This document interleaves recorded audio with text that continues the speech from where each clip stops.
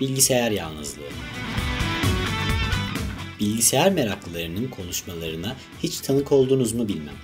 Programlardan, oynadıkları oyunlardan, bilgisayar dünyasındaki yeni gelişmelerden öyle heyecanla söz ederler, bunları öyle ballandıra ballandıra anlatırlar ki siz bilgisayar denen nesnenin harikulade, efsanevi bir yaratık olduğuna inanmaya başlarsınız.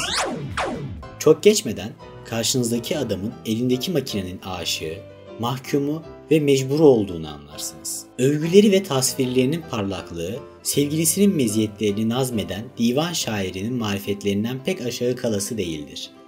Anlayacağınız bilgisayar onun için mağrur bir sevgilidir. Meraklarının meftunu oldukları bu medeniyet harikasını hafife aldığımız sanılmasın.